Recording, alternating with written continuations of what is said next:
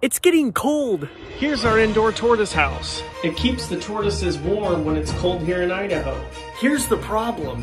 Hank and Littlefoot are getting huge. We need more indoor room for our tortoises. We need to pick out another tortoise building, so we're gonna go to store more sheds. Oh, I hope the tortoises don't poop everywhere.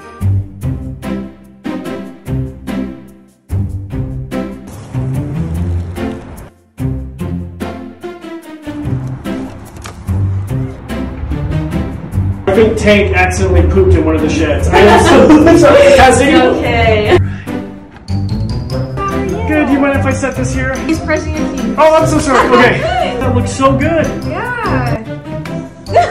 Does he smell? I'm offended. He's like my kids. Does he smell? A little bit. Hank would like to do payment plans. We have that. Okay, yeah, we yeah, we have payment options. Well, thank you so much. I appreciate Yeah, it. thanks for coming.